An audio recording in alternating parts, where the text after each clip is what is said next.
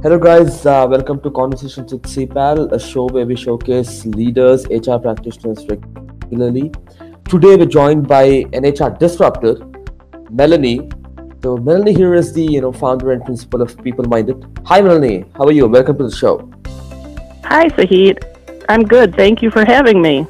So, you know, I, I think uh, you know I do know that you're an HR disruptor. I do know a lot about you. However, you know, why don't you just uh, walk us through your career, you know, so that, you know, if you could tell us a little bit about your HR career, you know, for our audience to get to know about you.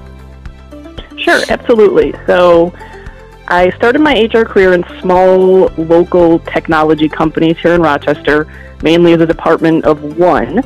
And from there, I really wanted to round out my HR experience and see how an HR department worked in a large corporation.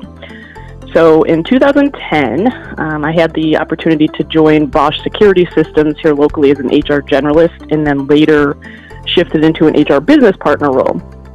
So I really was able to get all of the knowledge that I wanted about HR during my time at Bosch and over time, during the uh, last couple of years, I really discovered my passion around developing people and creating work environments where employees can thrive. So I decided late last summer to branch out on my own and spent several months learning, networking, and really researching and preparing for the future of work. Wow. Uh, you know, when I do go through your LinkedIn profile, I, I see it's very comprehensive. It's very interesting. And, and, you know, one thing that I've noticed, I saw that you completed a change management certificate from Cornell. Could you tell me about that, please? Sure, absolutely. So, as someone who enjoys change and I tend to be a bit more risk taking by nature, I felt that it was important for me to really get some perspective around the change process and to learn strategies for helping lead others through change. Because generally, people are not as um, ready for change as yes. I would say I am. So, uh, so my programs included six courses. So navigating power relationships, leading strategic change initiatives, leading organizational change, and negotiation skills. And what I liked about the Cornell program is that you can customize. So I was able to choose a couple of electives around leading across cultures and coaching skills for leaders.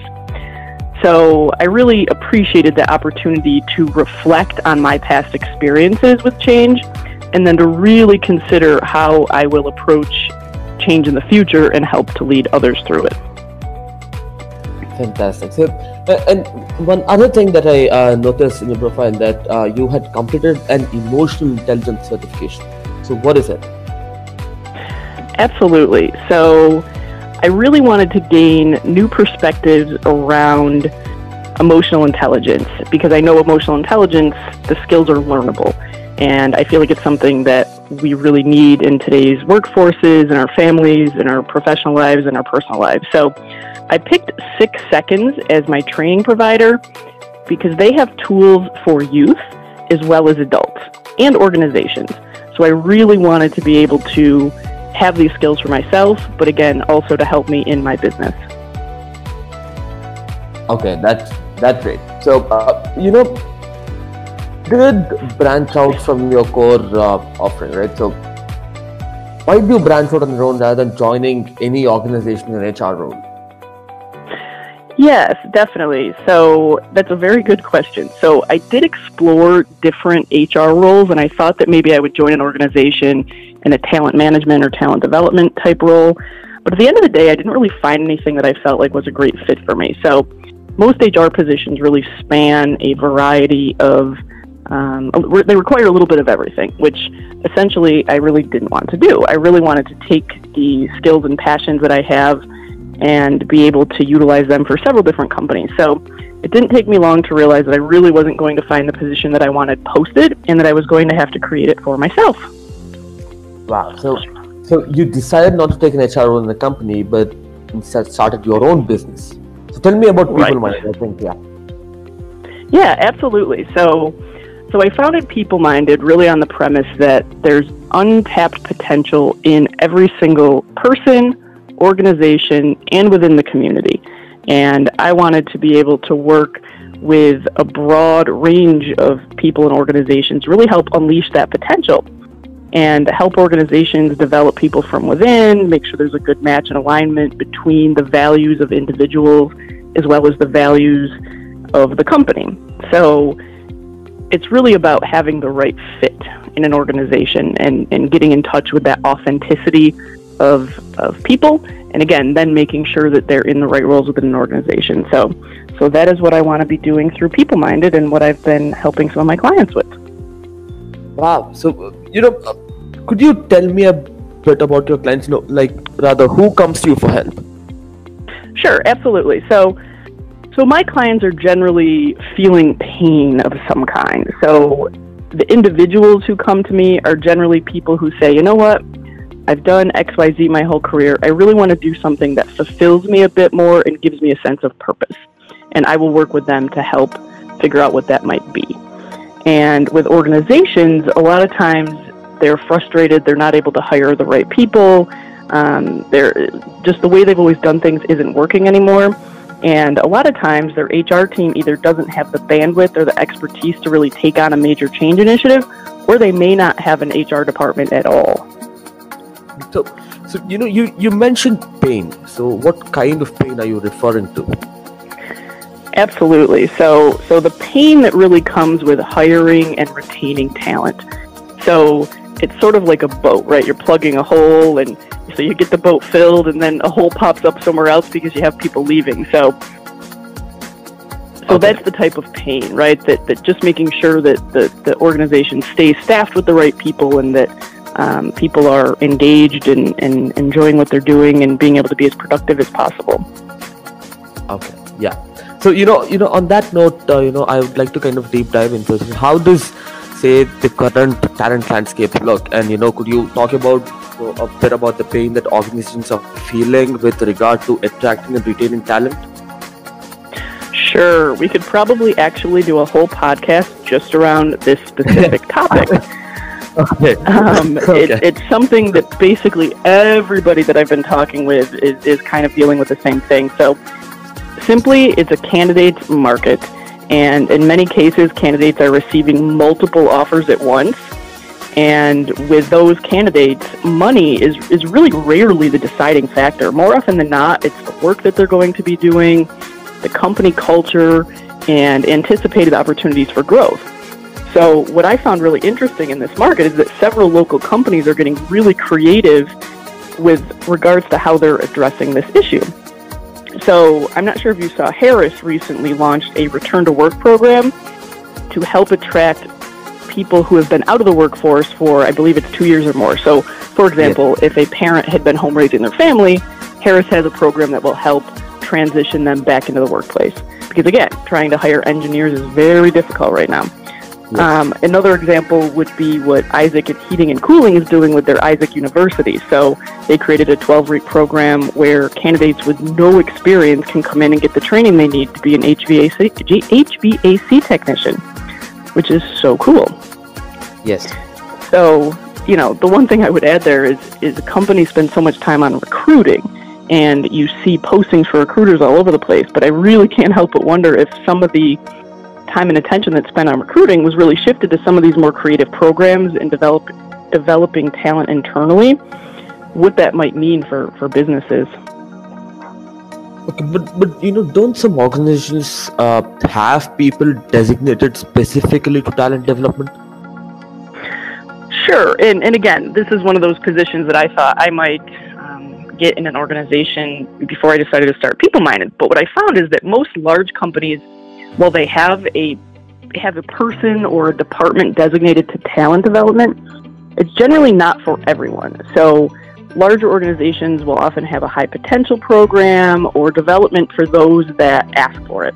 But I really feel like there's a missed opportunity with an employee who may have never had anyone believe in them or tell them that they were good enough or that they would never have the confidence or courage to reach out and apply for a different position or work towards anything else within their organization. So, but you know, aren't there some employees who are just happy doing what they're doing and probably they do not want to kind of get into all of this development or anything of that nature? Definitely. There definitely are some folks that, right, they're, they're comfortable doing what they're doing. However, I would suggest that when employees think about development, they often think about a completely different role. And it doesn't have to be the case. It could mean that they often think about a completely different role. And it doesn't have to be the case. It could mean that an employee learns a new skill in their current role or sheds a more junior task or you know maybe it's something that they've mastered and they're no longer engaged by it that a newer person could take on so that they can then take on a more challenging task. So it's really those little baby steps within a role. And that shifting of tasks really becomes a win win win for the organization, for the employee who gets to take on new things, and then the newer employee who may get to take on those more junior tasks. So um, I can give you an example. Locally, Innovative Solutions has a really unique employee led promotion process where employees can, can sort of do those baby steps and they work with their their um, leader and with the, the their uh, VP of people to help kind of move them through that process. Um, the other thing that they do that I think is really really cool is when a new employee starts, they can go through their job description and, and sort of select tasks. And if they feel that something is not within their skill set, they can ask to have it removed. And so skills will, or not skills, but tasks rather, will be shifted around to make sure that people really are in the right roles and that they're doing things that they're um, good at and really engaged by. So another really interesting thing to think about. Interesting, you know, you know. When I talk about CEIPAL, you know, at CEIPAL, you we look to develop leaders from within because everyone who joins in, there's no, we do not hire leaders from outside, so we promote them organically. So what advice would you give to a company like us? Sure, no, absolutely. That's a great question. So, I read an article recently that talked about moving into a people leadership role from a functional role really shouldn't be seen as a promotion, but rather as a career change. A career change, and I really thought that was genius because oftentimes what makes an employee successful in their functional role is not the same skill set that's going to make them successful leading people.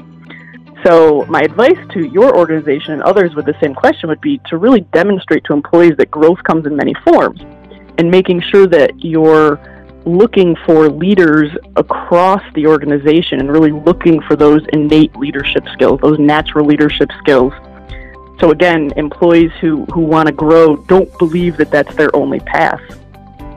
And that those who do move into those leadership roles really are the people who have that natural ability and desire. Yeah. So, you know, let's uh, shift gears here for a minute. So, we've talked about having people in the right roles and about employee development. You also mentioned that, you know, culture is an important consideration for candidates. So, what do you think employers could do to ensure their culture is attractive to potential employees? Absolutely. So, I really think the key here is that different cultures will be attractive to different people, and that it's really about finding a good match. So, from from from an employer's perspective, it's not just about looking at skills and, and whether or not an employee can can do the work. It's really about looking at, at the candidate or the employee's needs and desires as well, and making sure that there's a, that there's a good match. So, so, for example, you may have a great candidate who can do the work that you need done, but they really might want to be focused more on current cutting edge technology and solving complex problems. And if the position that you have available or, or the culture is not cutting edge, it may not be a fit, even if the person can do the work. Mm-hmm. So, so are there any common threads that you've seen across all candidates and industries?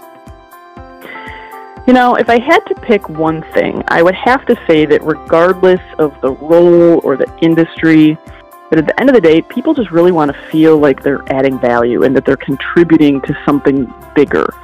And also that they're being valued and recognized for the work they're doing. I, have often heard people say, you know, I just, I, I don't want to be micromanaged. Uh, because again, people want to do a good job. Like as human beings, we want to do a good job. So, again, putting people in those positions and in those roles to do their best work possible and then thanking them for a job well done. Yeah, but you know, on that note, but for a business, don't customers come first? Because without customers, I mean, there's no business. Absolutely. So, so oftentimes you hear companies talking about, you know, people first or customers first, and as Richard Branson had so eloquent, eloquently put it, um, if you take care of your employees, they will take care of your customers and your clients. So I believe that the correlation between top workplaces, places that have a great culture, and that link that you see in terms of growth and profit, there's really something behind that. So, so I'll share another example of a local company that I've seen is is Optimax. So, a, a local top employer who is also growing by leaps and bounds and expanding. So last year there was an article recently written about this that they had a client that alerted them to a quality issue, and it was over the weekend and their employees didn't wait till Monday. They they jumped right into action and made sure that the right product was delivered to their client 12 hours later, out of state. So it wasn't like threats or bribes or hey we need to do this that forced these people into action. It was it was truly the culture and the fact that they're intrinsically motivated to do a good job for their employer. They take personal ownership in what they're doing, and I'm sure the fact that um, everybody truly feels a sense of ownership within the company because Optimax has a great profit sharing program also helps people feel committed. And they know that their work that they're valued and that it truly contributes to the bottom line and that they have a stake in that. Wow i mean it sounds like optimax has done a great job branding themselves as an employer of choice. However you know how important is employer brand for employees and prospects in terms of you know how it would affect them and yeah absolutely. So so every business really has an employer brand whether they realize it or not. And with the growth and popularity of sites like glassdoor and indeed candidates are really doing their homework before they sometimes even before they apply for a position but but oftentimes for sure before they go into an interview or accept an offer.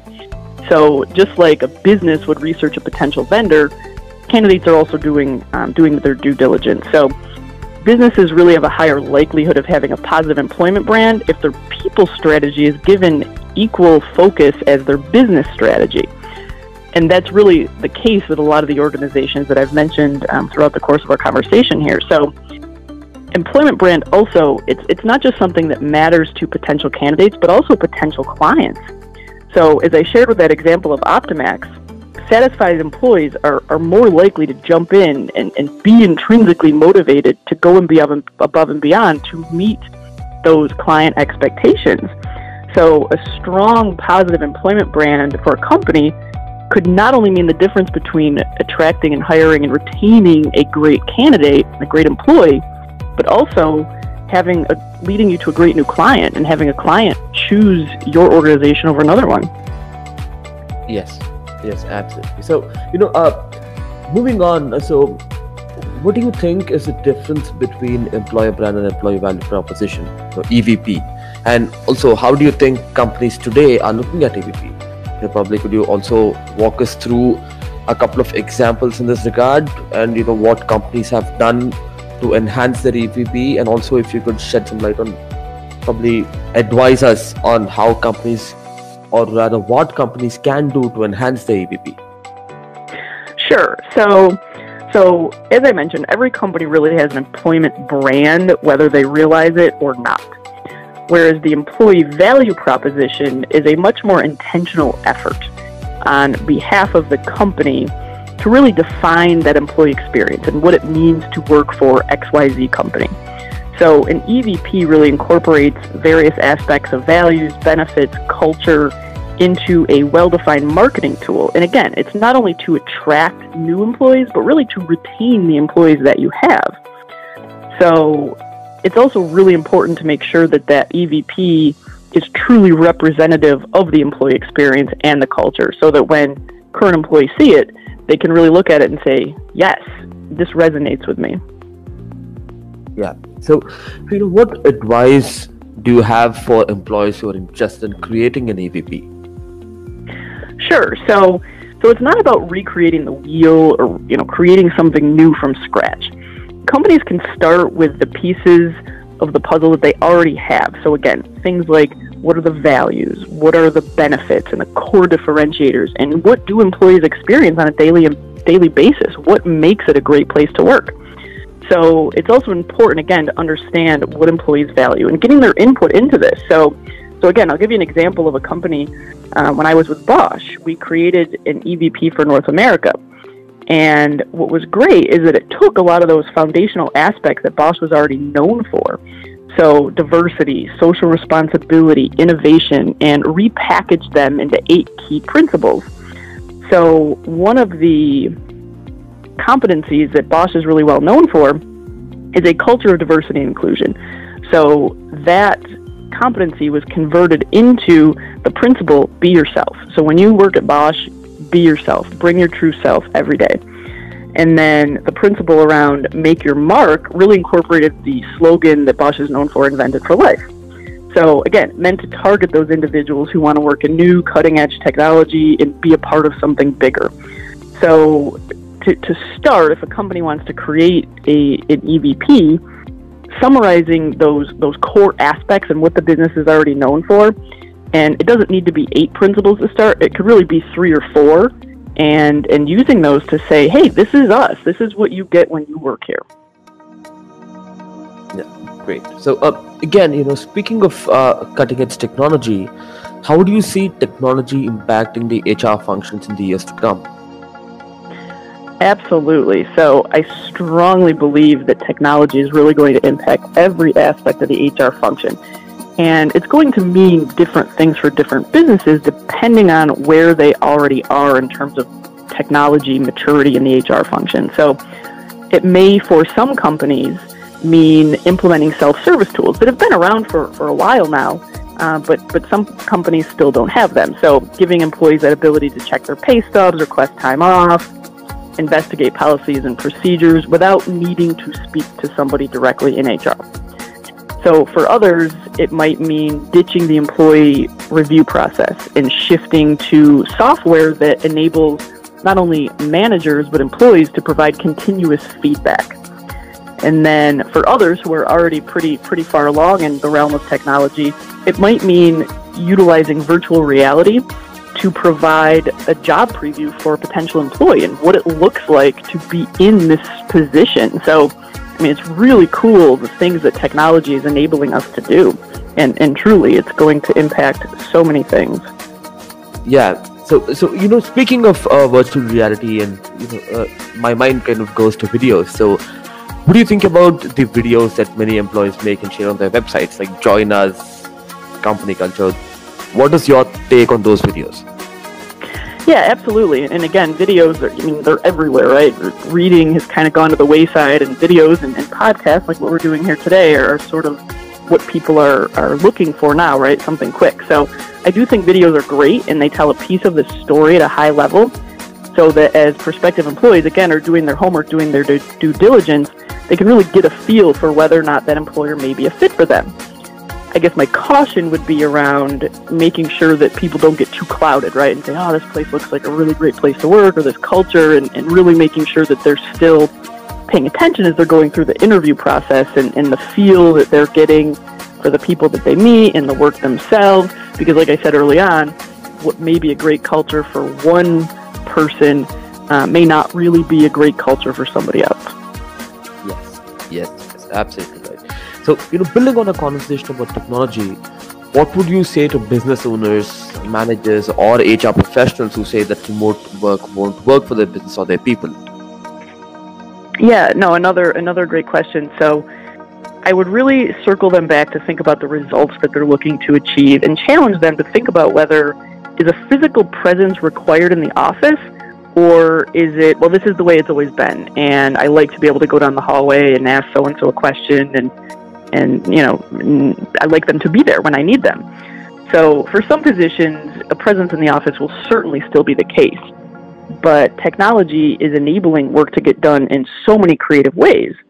And it's not only a matter of people who have been in the office, you know, being able to, to work remote, but it's also a matter of alternative work arrangements. And as I've been doing some of my research, the data that I've seen kind of shows that in the next seven to 10 years, 1099 freelancers will actually outnumber W 2 employees, which is kind of crazy that it won't be employees that are necessarily getting the bulk of the work done in the future. Like, employers are really going to have to get creative with how they get work done and how they have their talent pool um, organized. So, what's interesting and, and what I have to keep reminding some of my clients about is that our local talent pool really isn't our local talent pool.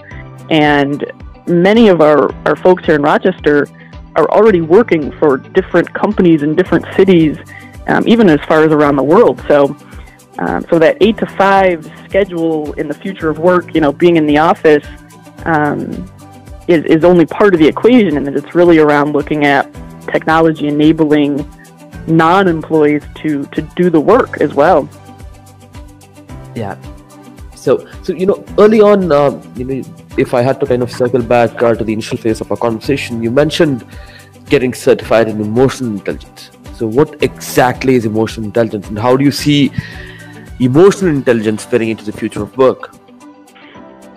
Absolutely. So, emotional intelligence, really, at the most basic level, is becoming smarter with feelings.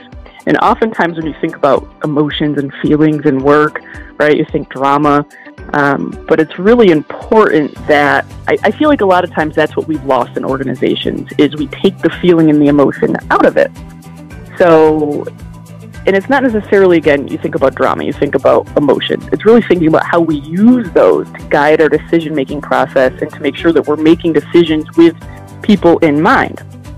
So the other thing I think about is how we can control and sort of manage and navigate our own emotions. So when we think about that impact of technology and the future of work, right, and some of the things I talk about in terms of non-employees doing some work formerly done by, by W-2 direct employees, we can also choose how we feel about that, right? And, and what I've been encouraging people to do is not necessarily think about the fear and that loss of what we know, but to think about the opportunities that lie ahead as a result of those changes.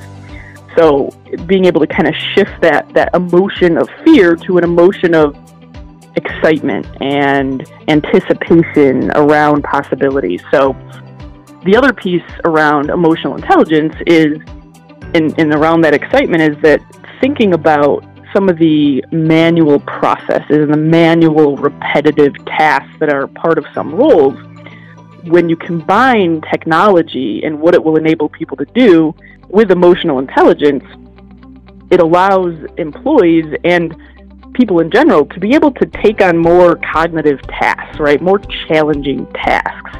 And to really utilize more of their distinctively human capabilities. So again, not letting that fear of change kind of overcome things, but really looking at it as excitement about possibilities. Yeah. So, Seema, you also, you know, I called you an HR disruptor when I first introduced you. So, and the reason I did that was because you took the step to bring Disrupt HR to Rochester this year.